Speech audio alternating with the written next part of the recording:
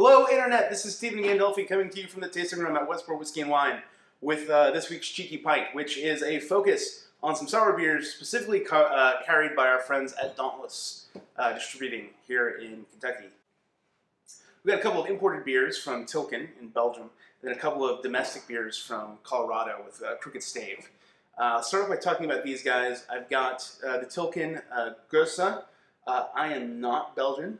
I have never really gotten the hang of how to pronounce G-U-E-U-Z-E. Um, Garrett Oliver says that it's sort of like sneezing with the accent on the first syllable, so it's like Gersa.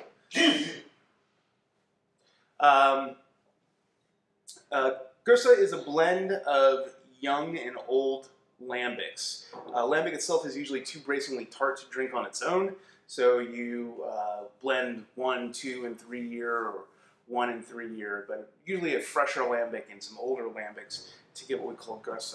And it's got a little bit more layered, complex tartness. Um, uh, lambics themselves usually made from malted wheat. They have a, a, pretty round body to offset that lactic character, that acidic character. Um, so this guy, like I said, blend of one, two, and three year. This is a straight lambic uh, cassis. So flavored with cassis, a little bit more vinous, very fruity. Um, the tartness comes across in that sort of berry style, but two gorgeous examples uh, of the style. Next, we've got Crooked Stave Sour Rosé, which is a sour ale, uh, wild ale essentially. It's just foeder fermented, big barrels uh, with blueberries and raspberries, uh, giving it this nice fruity lift, that kind of berry pop. It's a very good springtime beer as we're approaching the spring. Um, but uh, this is one of my favorite pairing agents for food. Uh, it's just a very friendly beer. Uh, it goes well with a lot of things, especially really fatty foods. If you're having, you know, fried chicken, really good with that. Uh, lastly, another one from Crooked Stave is the Wild Sage. This is a Brettanomyces inoculated beer with sage in it. So Brettanomyces, uh, you know, Brettanomyces bruxellus, we, we usually talk about it as being kind of horsey, mousy, uh, farm post, you know, farm field kind of thing.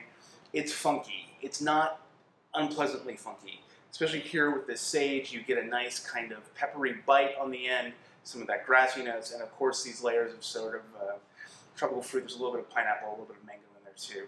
Uh, but these are four of the beers that we'll be pouring this weekend. I've got more beers on sale from these guys.